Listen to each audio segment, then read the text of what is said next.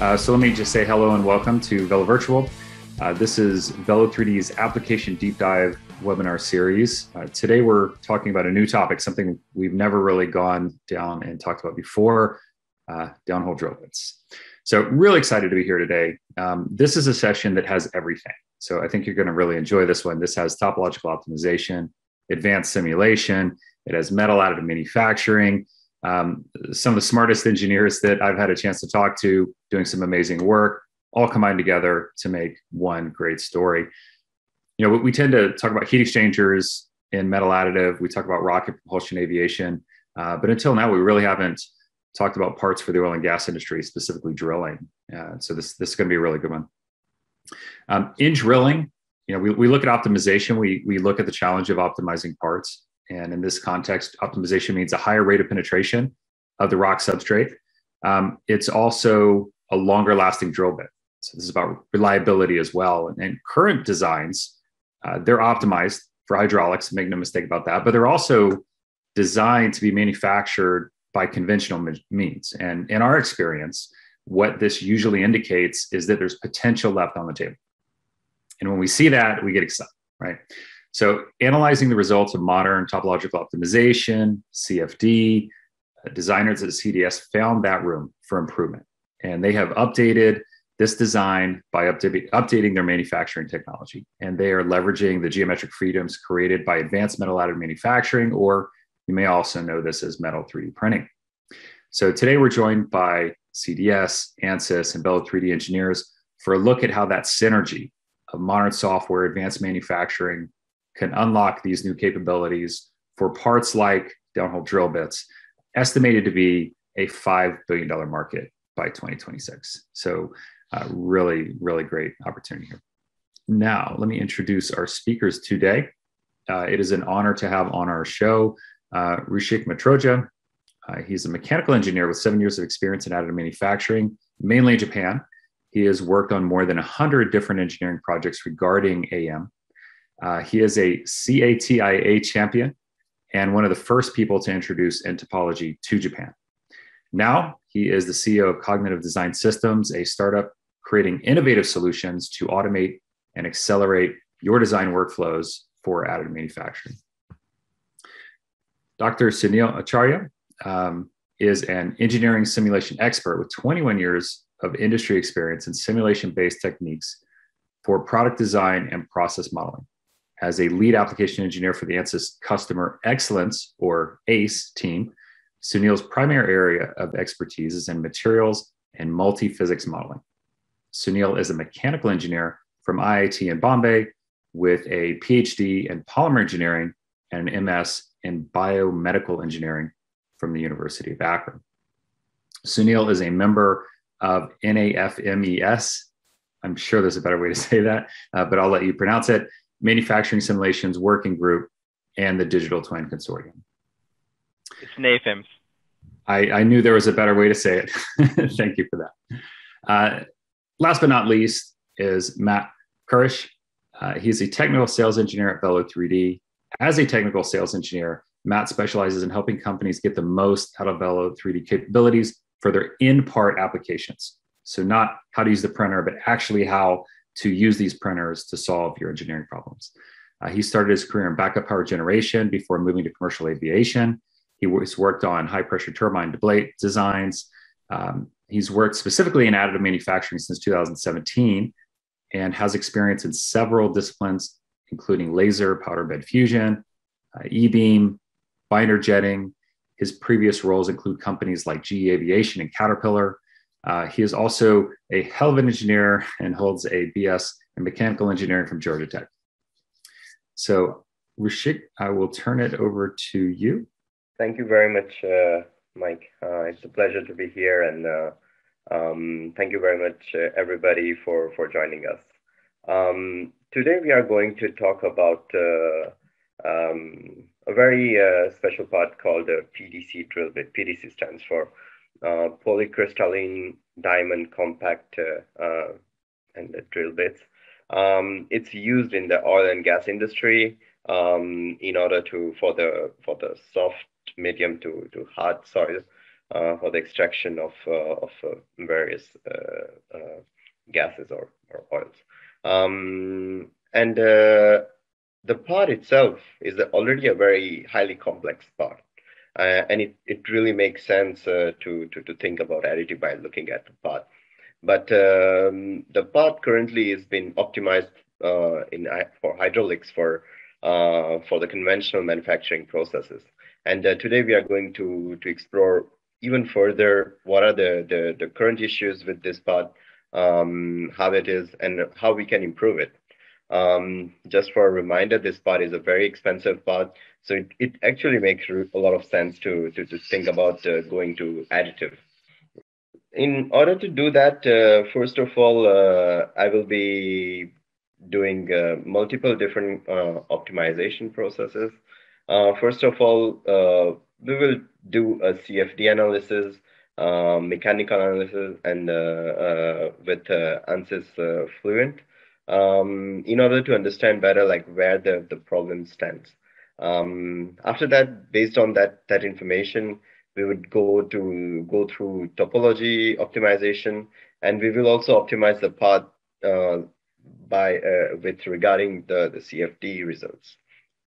Um, and at the end, we will combine all these different um, optimization results, uh, create a, a single uh, unit, and uh, uh, we will improve the, the manufacturability of the part by adding uh, extra features, um, the, the, the rules of manufacture, additive manufacturing, so DFAM rules, uh, applying some lattice structures where, uh, where it's required. And uh, at the end, we will uh, uh, go through a validation with some for the mechanical stresses. So first of all, to understand better, like what kind of loads are applied on this, this part itself. Um, so as we can we can think uh, uh, that this small bits that you can see, these are the the PDC, and uh, that's where all the, the the cutting is done. Um, a lot of uh, uh, pressure is applied on on that very small section of the of the path, and uh, of course the the the motion of of, of the turning also generates some kind of the, the load on, on on the path. On top of that, we have an axial load uh, which is uh, due to the the, the, whole uh, drilling process. Um, and uh, the the various different kind of loads are applied on the the, the bottom surface um, at that part. And uh, at the end, we have um, um mud e extraction pressure. So there is a, a jet, um, the water jet, which is which is pumped in and we try to to extract the, the, the mud from the, the, the, side of, of the of the pot. This creates uh, erosion. Uh, there are also a lot of uh, other issues which comes with it, but there is also a lot of internal pressure uh, in the in the pot itself. So we'll be trying to understand that. Uh, to run uh, through, we we did um, some CFD analysis. to do that, in order to do that, we uh, set up our our our workflow on on um, um, ANSYS Fluent uh, with uh, with the fluid domain. Uh, we also uh, meshed in a way that it's it's it's properly meshed in a way to to to have a have the the most uh, accurate results. Um, and we applied the the, the various the flow the the flow related um, um, load cases some results uh, regarding uh, all this. So first of all, we have a static pressure, uh, which is mainly, as we can see, it's inside of the pot. So it's it's the it's where the the water jet is, uh, the, the the pressured water is coming coming from. Um, that uh, that part is is highly um, uh, stressed and. the, that's where we can maybe we can believe that there there there can be some uh, erosion uh, could happen due to the to the highly pressured liquid going through it during the whole cutting process. Um, we have the, the the we also measured the the fluid velocity. So once the, the, the pressure is coming out, the, the mud extraction, the, the, the mud will be going upwards um, the the velocity of the, the, the fluid will change. Um, and we uh, our main focus here was the to to analyze the the residence time uh, of the fluid. Um, high residence time cause the cause the wear to the part. Um, and at the end, the, the, the, shear stress that we can imagine with the, the axial load that we, we have, um, which also cause, uh, which is also a cause of, uh, of wear the erosion uh, rate in, in the in the in the part itself we when we analyzed it we we saw that there were some some zones where the erosion was happening a lot. This is inside so this is due to the the the, the water jet the jet pressure um, and uh, the outside um, the the how can I, the red zones uh, are due to the the, the high residence uh, time of the fluid based on these results, we decided to do uh, uh, topology optimization and uh, fluid optimization.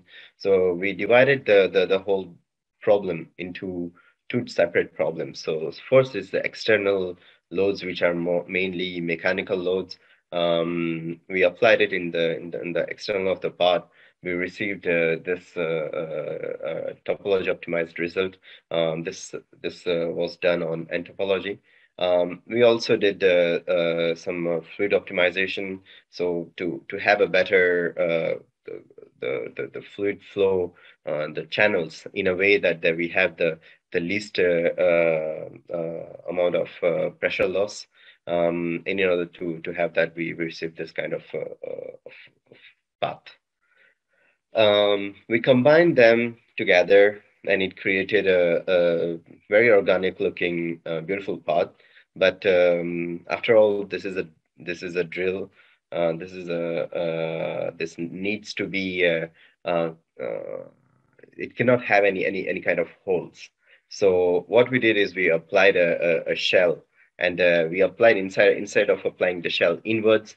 We applied it outwards in a way that the topology optimization result is used as a as a, as, as ribbing uh, itself um, this whole process uh, created a, a, very organic looking this part which is highly complex inside but uh, even from outside we can see uh, all kind of complexity all this boolean operations um, and creating of the shell was done on uh, by using the, the implicit modeling. Based on the, the, the CFD re result on the, the, the, the, residence time of the, the fluid, we iterate some designs for the, the, the grooves, which we can see um, the, on the outside. Uh, the original grooves were, are very uh, simple. It's, uh, made for the conventional manufacturing process. But instead of that, we we we improved uh, the the design in a way that the um, the the fluid flow uh, and the, the groove uh, uh designs uh, follows each other perfectly. so this grooves were added on top of it um, in order to, to to have this this organic shape. And at the end, this this the, the the part which was topology optimized and I mean, fluid optimized um, is looking very, very different. Uh, this, uh, this, all this optimization was uh, due to the, the, it was a manual optimization process. So we, we, we went through the, the CFD analysis on ANSYS Fluent and we extracted the results, um, some point maps of, uh, of the, the, the, at each position, each point in the, in the, in the, the, um, uh, in the mesh where the the uh, the what kind of velocity we have, and based on that result, we we we, we change the, the the geometry in order to have this. We also wanted to to reduce the weight of the part itself. Um, because the current weight, uh, if we want to manufacture it through additive manufacturing, it would be uh, it would be a, a, a kind of a, trouble because that would create a lot of uh, concentration of heat while manufacturing. Um, so in order to reduce the weight and uh, uh, in order to to reduce the the risk of uh, heat concentration, we applied lattice structures in the hollow parts that that were remaining. Um, and these lattice structures are are cylindrical TPMS structures, um, which also improves the, the, the manufacturability as a whole. And uh, we don't require any kind of supporting structures for internal overhangs. Uh, everything was covered thanks to this. Once we have created this kind of internal cavities, we needed to, to evacuate the, the, the, the powder uh, because we wanted to produce it with uh, powder bed fusion technology.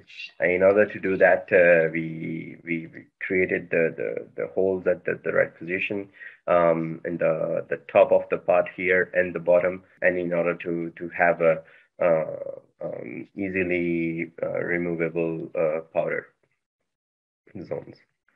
Um, at the end of that, we, we did um, um, some mechanical uh, testing with the worst case scenario.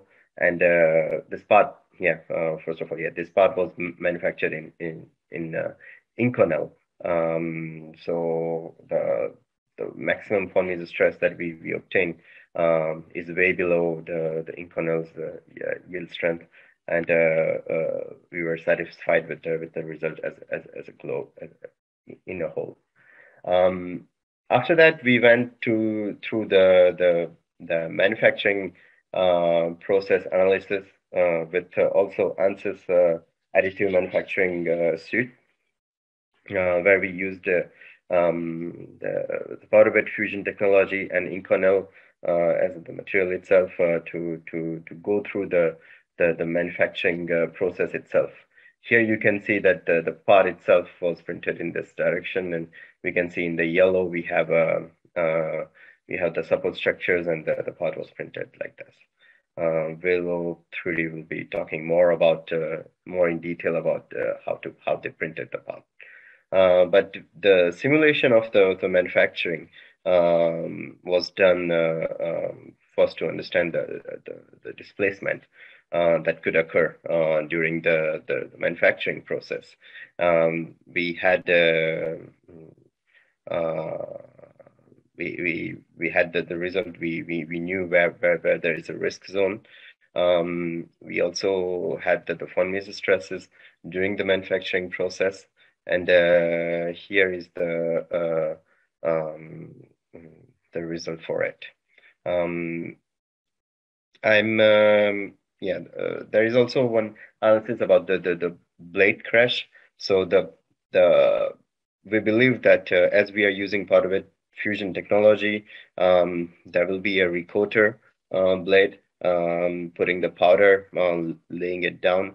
Um, and what is the risk to it? As we can see here, that this this part itself has a lot of uh, uh, zones where there is a there is a risk uh, for for the blade crash. So these are these are all the the concerns that we we, we had uh, before the, the manufacturing even was done, and uh, we were we were aware of the of the issues, and uh, that's where we we we contacted uh, Velo 3D and uh, uh, asked for their help, and yeah, I pass it over to them. Thanks, Rashik. So.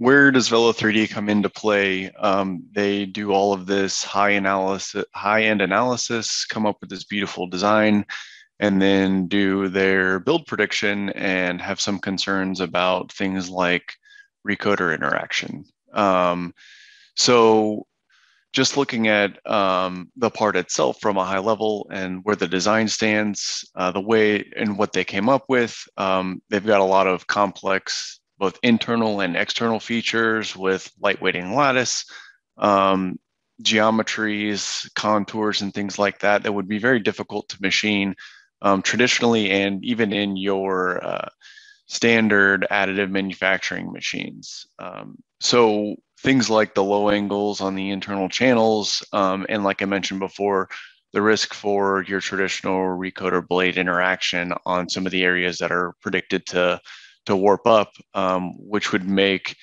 um, producing this again in, in your conventional AM machines uh, impossible or difficult, if, if not impossible.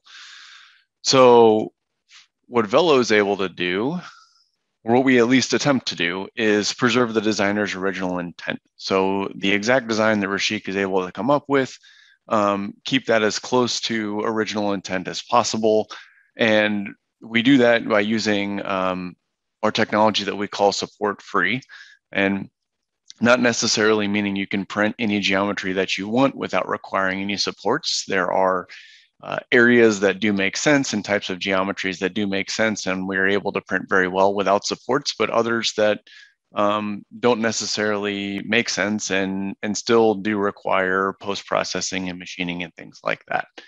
Um, so, with keeping that in mind and, and trying to preserve that intent and uh, taking advantage of our support free technology, you got to ask how are you able to do that? How can you perform those types of uh, operations different than everyone else? And it really comes down to what is kind of I describe as a symphony of uh, tools that we've created. And if we start on the left of the diagram here, it, it starts with our uh, flow software. So our this is our pre-print software where we digest the user's CAD, um, ideally the native CAD, uh, out of like a SolidWorks package or an NX package, uh, where we're able to preserve all the surfaces that were originally designed in that CAD package.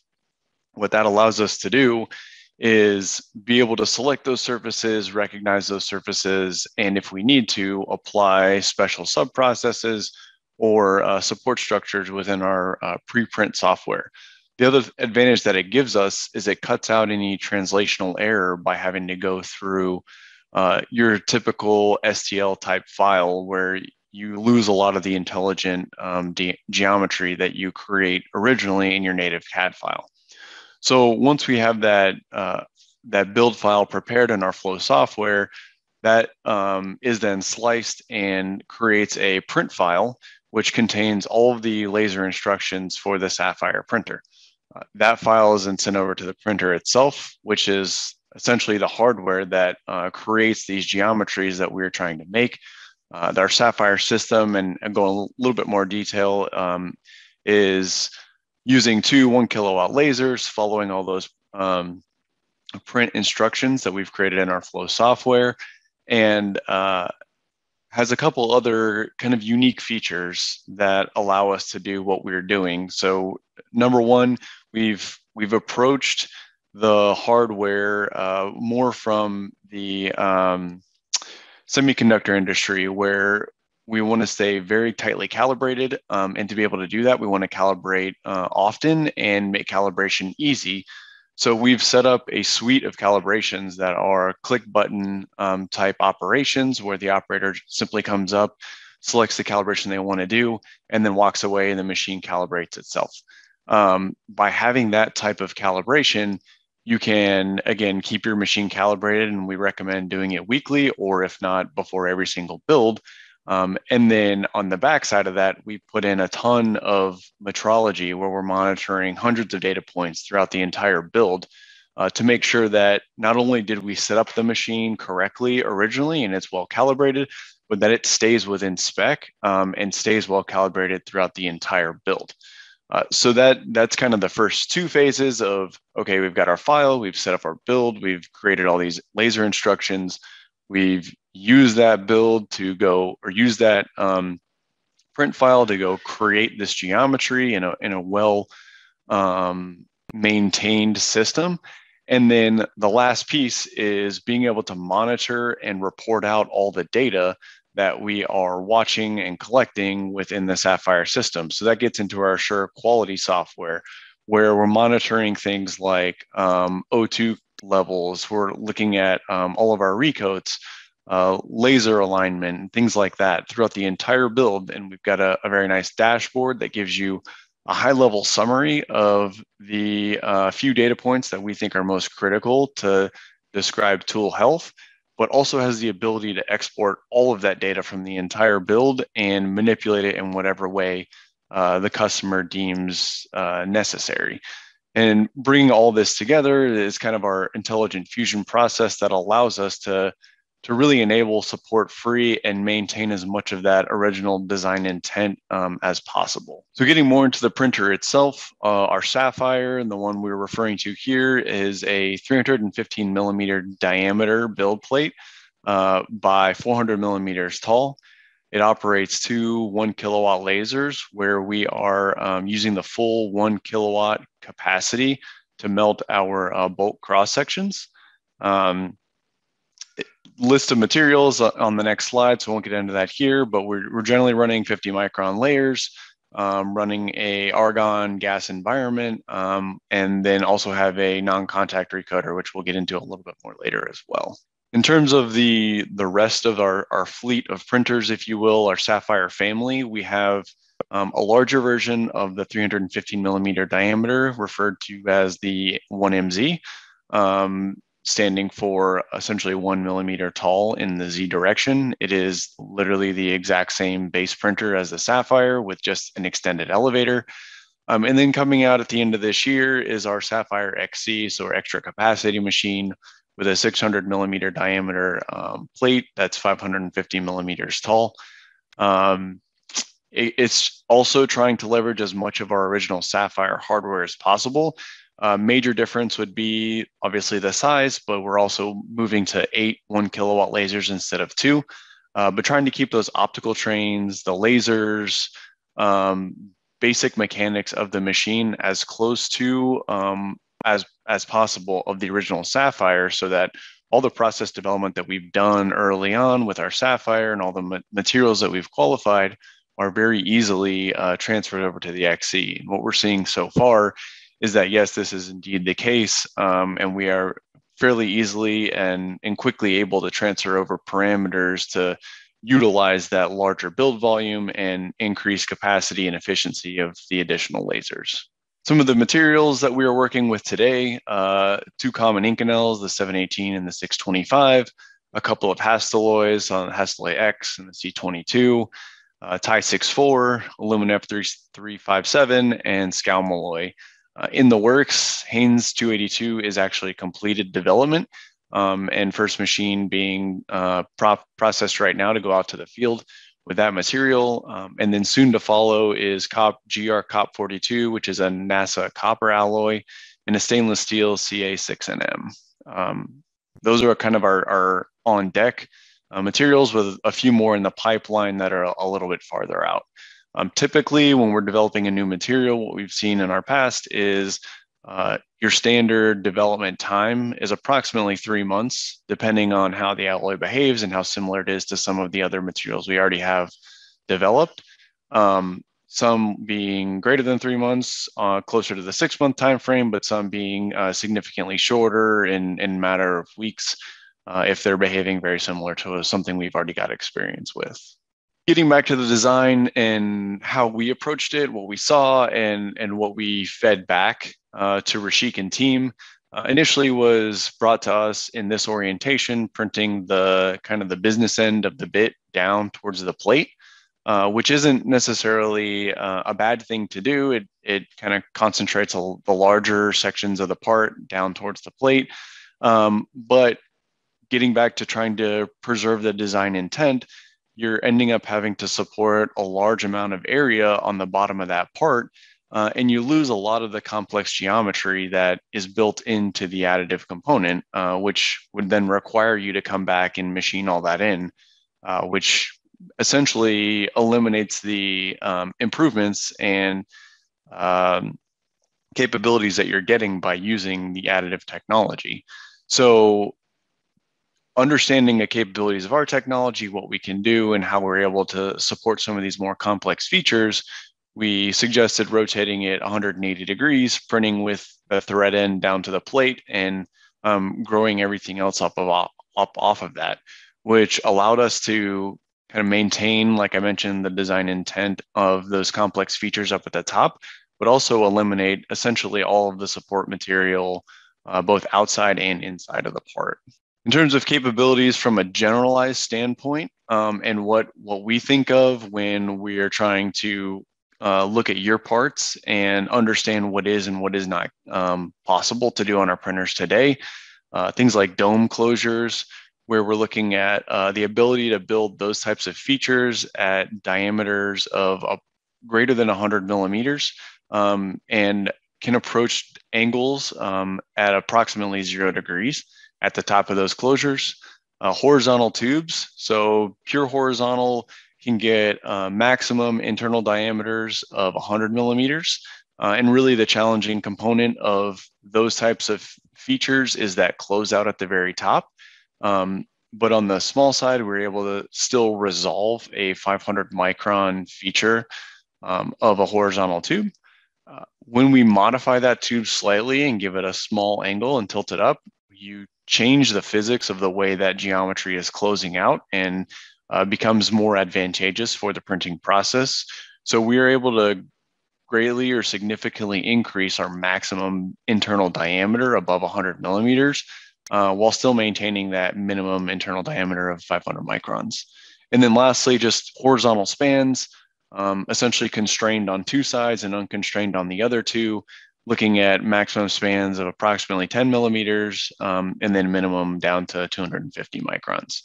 So keeping all these generalized features in mind, we then kind of digest that into the, the design um, and what we're able to do in an actual functional component. So here's a, a good example of essentially what would be like a shrouded impeller with a three degree roof. Um, and what you're seeing is the bottom side of the part here that was built and then cut directly off the plate. Uh, all the, the vanes were connected to the plate with the grooves in between the vanes, uh, again, running at that three degree kind of from the out to the in. Um, unsupported. So no post processing or surface finishing has been completed on this part. It was um, literally just cut off the plate, flipped over, and then the picture is the result of what you can see here. And rough scale um, of the person holding that in in the left side. So really strong ability to to be able to print at at a high surface quality and um, generally fairly good surface finish at um, extremely low angles uh, in these types of features. And then taking the part that Rashik and team provided to us, um, still doing a couple tweaks to improve or, or optimize what the printer can and um, is able to produce. So just moving from top to bottom, uh, trying to remove a lot of the sharp transitions that are in the drill body, um, hopefully you can see my cursor, but uh, we had this one that that actually dips down negative and then comes back up. So taking a nice smooth blend through there, um, adding the powder holes like Rashik mentioned, and then utilizing those parameters that we have to maintain that small diameter uh, relative to the large cross section around it so that the powder can still effectively be removed. Um, doing things like blending these shelves in down here, which in an area that is uh, likely going to be machined anyways, um, not adding a ton of value by uh, invoking our low angle process. So just adding a little bit of stock there to, to build as is supported off of itself. Same with the threads. Um, we have the ability to print threads in, but uh, from a realistic standpoint and a applicable standpoint of using threads in in a functional application, you're still going to want to machine those threads um, to have a good machine surface quality and um, capable thread. So adding the stock there and having that be machined in after the fact, fairly simple operation and um, gives the most uh, capability in that type of feature. And then lastly, fairly simple stock added to the bottom of the part with a fillet to prevent uh, sharp transition and potential for cracking at that initialization point on the build plate. So Rashik also had mentioned some of the, the stress prediction during printing and, and what they had run is for uh, you, what you can think of as more of your traditional AM system with a fixed blade recoater. Um, so every area in red is predicting a level of deformation and um, a recoater interaction that would happen on those types of systems. So they've come up with this great geometry, all this functionality, um, but now are at risk to be able to produce that on, on a traditional AM system. What Velo is able to do is kind of a, a two prong approach. One is take our process parameters and inherently reduce the level of risk or, or, the level of stress that accumulates in those types of features. So bring that overall um, potential for uh, peeling and uh, distortion down. And then the next thing that we have and are able to do is utilize our non-contact recoater to eliminate the uh, physical interaction at the build plane between a uh, recoater blade and the part geometry itself. to give a little bit more insight in what is happening with that non, non-contact recoater, you can think of it as, as kind of a three-stage process where we move over the build and we drop uh, significantly more powder than what is required for our build layer. And recall, we're building at 50 micron layers. So on the order of a couple millimeters is how much powder we're dropping. Um, then we come back with a fixed blade and normalize that surface, uh, but still significantly higher than what our uh, our final build thickness is. So on the order of 500 microns to a millimeter, and then um, the last step would be the proprietary removal process, where we're without contacting the, the bed, removing the powder, the last bit of powder to get down to that very precise and final 50 micron layer. So using this process, we have the ability to um, tolerate geometries that tend to want to peel up and interact with the recoater or geometries that are, are very susceptible. Think of things like heat exchanger fins and very thin walls, high aspect ratio geometry that um, have have potential to be damaged or distorted or or bent by some sort of physical recoat mechanism, mechanism that would interact at that, that level. And then on the inspection side of, of the recoat, we have this height mapper um, tool. And what we're doing here is, is taking two types of images. One is like your standard image that you would take every day on your phone, um, which we take both before and after um, each layer, and then at the same time doing a uh, structured light scan to create a 2D topological map to understand how the actual uh, powder bed is laid down and what the resulting surface looks like. So by having this scan, we can see if there's any um, abnormalities or anomalies with the recoat that we've done and how we've spread that powder, if there's some sort of issue and how it was spread, um, also, we can see if the geometry is misbehaving at all and protruding out of the bed. So an example here, you'll see the, the Velo logo um, in the left image, everything is great. In the right image, what we're detecting is a protrusion. And what has actually happened here is um, something below the build layer has become disjointed and powder was flicked up. So the protrusion that is identified, which is well over 500 microns, is actually a clump of powder, not actual lased metal. But by having that structured light scan, we're able to say, okay, there is something above a, a threshold that we deem safe to continue to build, have the operator come inspect. Uh, they came by, they saw, okay, this is just a clump of powder, do a couple more recoats, smooth it back down, and continue on. Um, with that approach, we can not only a protect the printer and the hardware itself, but understand if things are going wrong with the geometry as we're building it and if something needs to be changed or corrected. So very powerful tool, um, both in process and after the fact to help diagnose issues uh, with printer and build.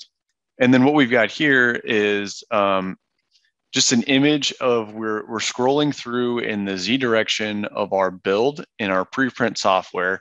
So you're seeing as essentially it would be built in the machine, progressing up through the layers.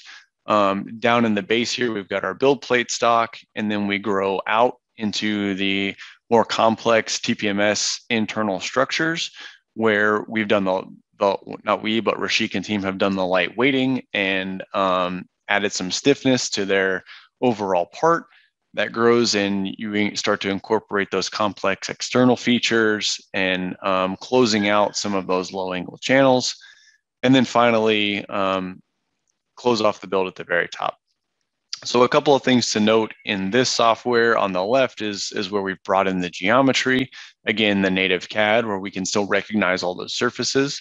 And here's where we have the ability to come select those surfaces and apply any sort of special process that we deem necessary. Um, we can also come in and add support structures. So on the bottom there, the, the section of geometry shown in blue is a support that's been added in the Flow preprint software where we've selected the bottom of the part, said extrude this much material down and add a fillet of radius X uh, to the build plate to make sure we've got good adhesion and we don't crack off of the plate. So very powerful piece of software. Um, and again, it's the the initial piece that allows us to progress through this whole complex process.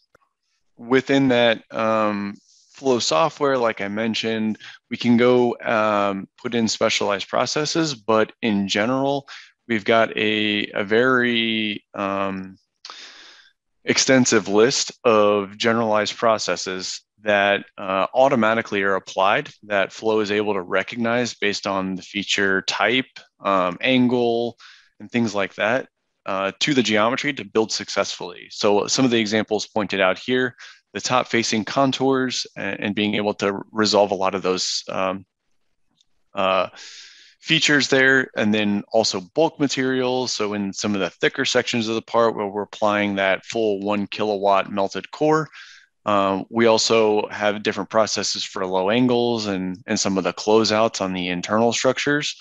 Um, again, maintaining the small hole diameters for the powder removal and making sure that hole stays clear and um, as defined in the CAD.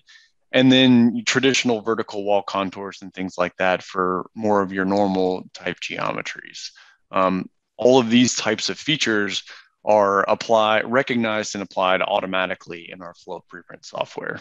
So then what are we able to do with all that information and not only print it on a, a single kind of R&D machine, what we can do with the way we've set up our, our build files, our software, and our machines by keeping all of this generalized, keeping it all um, kind of on the same page, having our machines all calibrate the same way and calibrate um, often is we can create what we refer to as a, a golden build file. So create that preprint file, go slice it, develop those print instructions, and then you can then take that build file, put it on any Sapphire printer in anywhere in the world, and you should be able to recreate the exact same results um, regardless of location or printer serial number, which is extremely powerful thing to do and um, traditionally uh, very difficult to do with uh, manual calibrations and offsets uh, for different laser powers and things like that on, on different machines and different serial numbers, where we've tried to really take a productionized focus on, on our machine and our technology uh, to be able to do that so that you know if you did need to do some sort of distributed manufacturing or let's say you don't want to own a machine yourself but want the ability to go out to our contract manufacturing network and have all of them quote on your part it only takes one file one setup um, significantly reducing the nre and giving the the customer the and the user um, a much greater ability and flexibility in their supply chain and what we got here is actually a compilation of the actual uh, height mapper images. So I mentioned we took two types of images. One are regular camera images, which is what we're seeing here, and the other is the, the 2D topological images. Um, and this is just playing, you stitch all those images through, play them through like a video, and you can see this uh, build progress as if you were um, sweeping through the CAD itself. And so you get all those different features. You see the complex internal channels, the, the closeouts, the, the external contours. Um, a pretty, pretty neat way to see this part come together. And then what we end up with is a final print. So um, the parts shown here on the right, again, with, with the complex internal channels, uh, complex out uh, external contours, um, quite a quite a good print uh, and and good results. Uh, and then what's up next for this part is really to do just the final machining, like we mentioned. So cut in a lot of those threads, um, maybe clean up some of that bottom surface, and then inspect the part and and make sure it was produced to the original design intent uh, that Rashik and team had come up with. So. I think I'll hand it back to Rashik here. Yeah, so um, thank you very much. Uh, it was it was pretty awesome to to, to see all this uh, happening. Um, in these days, the, the the topology optimization or um, the how can I say the uh, new softwares coming up, uh, such as nTopology, with all the the implicit modeling, have created a, a, a, a great opportunity on the design side that we can explore the the design spectrum uh, like never before but now the issue is the is manufacturing and and um, uh, Velo 3D is uh, is is right there to able to to actually convert that uh, that uh, the complex geometries into manufacturable part. So it's it's a really a good good combination of both both technologies uh, on design and manufacturing side. Uh, we are really moving forward. Uh, some takeaways from from this this whole project, of course, we we improved the weight, we improved the performance in terms of of the, the the flow, um, and we improved the manufacturability of the part itself um, we the, the residence time of the of the, the fleet which is uh, uh, which is being extracted uh, is is way lower. There is less issues of uh, of uh, uh, of wearing and um, and that that makes the part um, the the right how can I say a, a very really optimized part. Um, and of course, uh, compared to the before, I will let uh, Velo 3D answer on the. I, I, saw a few questions regarding the the, the cost, uh, and uh, yeah, I mean, cost has came down dramatically from before. Uh, that's something that I can I can say for sure. And uh, yeah, if uh, some of you guys are coming over to to Formnext, uh, I will be there uh, with Velo 3D also, who will be presenting there. Um, don't hesitate to uh, to, to ping me, uh, send me a message, or send any any of us a message, and we will try to, to catch up and, and answer further questions. Thank you very much. I pass it on to yeah, Velo 3D. I'm going to take questions now. We do have a couple questions that came in while the presentation was going on, so uh, we will jump through those. Uh, the first question I'll go ahead and take, and and that was about uh, will you be getting a copy of this session? So we did record the session. We will be posting it. We'll provide you a direct link to the recording. Uh, we do not typically give the a PDF copy, but if you want to watch the recording with the speaker actually presenting, uh, you'll get the full story that way. So just just a way to kind of preserve the integrity of the content. Um, so I will ask a couple questions, sort of in the order that they came in.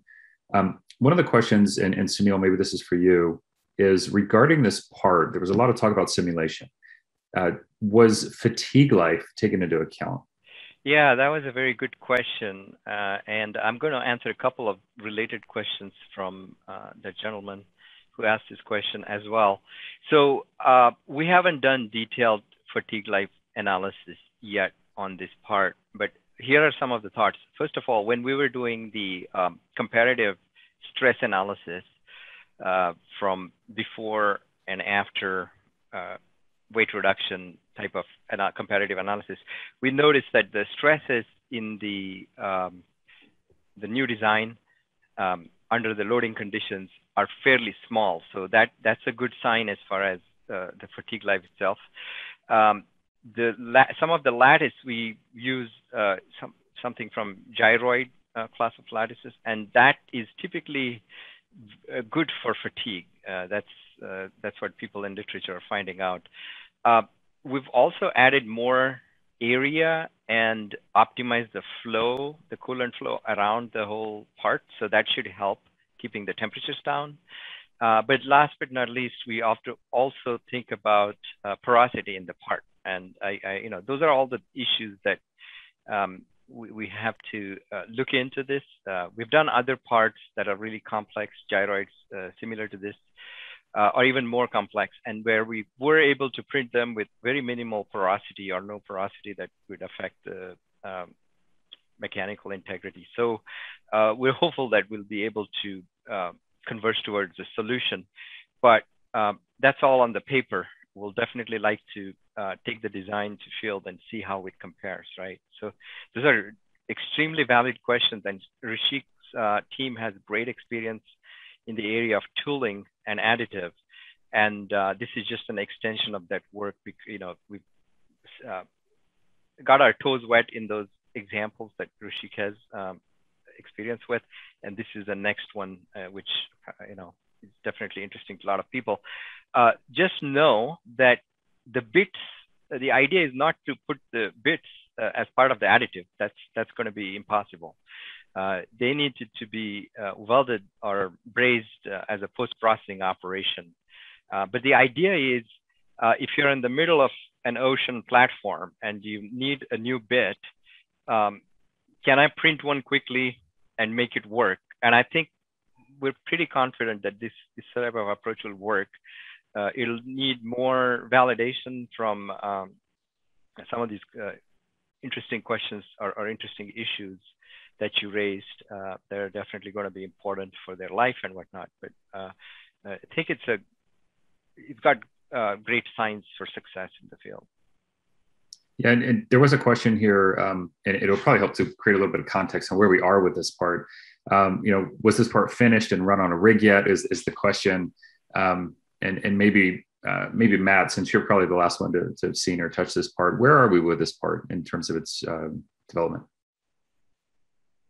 So my understanding, it, has been printed, and um, next up would be to do some inspections, make sure dimensionals are coming in as intended, and um, yeah, I'll maybe do some of that that machining that we mentioned. Um, I'd I'd maybe Rashik or Sunil can can give some more color on what happens after that.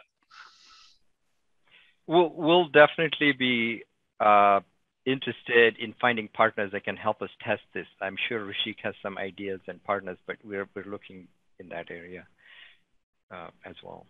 Yeah and, yeah, and we do intend to take this part to Formnext. It will be a printed part uh, but none of the finishing steps have happened yet. So we, we want to get this out and, and give everybody, everybody, a chance to see it and touch it. Um, but all of the finishing and, and, like what Matt mentioned, the threads like that, that we printed without any threads. Um, that that's a post processing application. Uh, putting on the teeth would be something that would need to be done in post. So all of that stuff is still to be determined. So kind of stay tuned. There's probably a part two of this story uh, maybe brewing in the works here. And Rishik, did you want to add anything to that?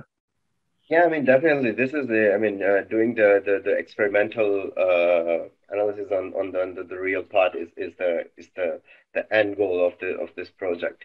Um, finding the, the right partner and right uh, right people to, to work on uh, would be the, the, the key right now. Um, but uh, on same time, um, not just questioning the the, the, the, the drill bit itself, but it, it, it's it's an a, exploration of uh, what is feasible uh, with the with the new design technologies and with new manufacturing technologies. And uh, this is just a starting point that where we can we can expand uh, way more our uh, uh, our further design exploration process for other industries also uh, not only the, the oil and gas, but it could be applied to the aerospace, uh, uh, automotive, uh, where we, we, we are required to do mechanical uh, uh, CFD analysis and fatigue analysis. And all this should be done, um, keeping in mind that this kind of designs are feasible and manufacturable now. And there was a question uh, regarding the supports, and Matt, this is probably good for you. Were there any internal supports used for the part, or was this part just printed sort of as as is from the designer? Yeah, so the the images that were shown um, is exactly how it was printed. So no in, no internal supports. The only support that was added was down to the to the base plate. So we had a little bit of a stock um, to cut through when we were removing it off of the build plate itself. And there were a couple questions on cost, and I think uh, Rashik, you had an initial comment that this would typically be something like thirty thousand, eighty thousand dollars. Um, and maybe Matt, you could comment a little bit for the printing itself. I mean, would we be north of that or south of that? I, I, I know you can't quote an exact number, but to the degree that you can kind of provide some directional guidance. Yeah, I think in general we'd be significantly less than thirty thousand um, dollars, and that's on our Sapphire printer. So keeping in mind that's two one kilowatt lasers um, operating in unison, uh, things start to get significantly more interesting uh, when we get into our XC printer, where we've now increased our, our melting capacity essentially 4x by going to the eight one kilowatt lasers um, and having a larger build volume. So you, you, can both print more parts and print parts faster. Um, which is which is really interesting and starts to change the dynamic uh, of of the economics, if you will, of some of the parts we've been looking at previously and, and will look at in the future. All right, awesome. Well, I noticed we are up on time, and I do want to give a little bit of time for closing remarks from our speakers. So, uh, Rashid, could you kind of kick us off? Some closing remarks from you, um, and any final thoughts? Well, um, thank you very much for, for this opportunity, Velo 3D, and uh, and um, I'm, I'm sure yeah, this is this is just a starting point where we can uh, we can find out like uh, how, what kind of uh, complex structures um, in various industries could be could be manufactured. Um, finding the right application is the key for additive manufacturing, and this is one one one step further. Um, and hope that we will be will be uh, doing uh, exploring more and more uh, uh, other industries and other applications together to to to to see where where the how we can bring this whole technology forward as a group. Awesome, Sunil. Same question to you. Yeah, so uh, I I really like what we've done here with uh, Velo and uh, CDS. Uh, the last webinar that we did with Velo had a static mixer, and this is a drill head we're trying to showcase different areas of applications where additive can make difference and show that it's here, meaning it's here as a viable product instead of uh, something that's imaginary and futuristic. Uh, we we want to hear from you about specific industry concerns for applications around this, so we could um, show you the capabilities because we're kind of using this as a canvas uh, to, to paint with our technologies, combined technologies on. And um, we would we would like to see you successful using these things and and make your um, um, get you your dream product. So um, all kinds of feedback welcome. Nice, Matt. Final words. Sure. So I think from our perspective, the kind of the holy grail of additive manufacturing is having designers design parts for function and exactly what they need to do. Um, and, and our mission at Velo is to enable them to create those components without compromising their designs um, with support structures or changing geometries or things like that. So seeing kind of that exact uh, approach come to life through this engagement and this drill bit, um, it really starts to shine the light on what is possible with additive and, and where we could be going by kind of opening up these design spaces and, and not having to compromise on the design so that engineers and designers can truly get um, their design intent uh, components and, and applications out in the field. Nice, thank you. And if we didn't get to your question or you want to follow on with an engineer, please feel free to reach out directly. Uh, go ahead and do it right now. Info at velo3d.com. Uh, I'll, I'll be able to see that and I can direct it to the right person or we can have a conversation offline. Uh, really interested in carrying this forward. Uh, thank you very much. Great job, speakers. Thank you, audience, for joining us today. fantastic session. Really excited about this one.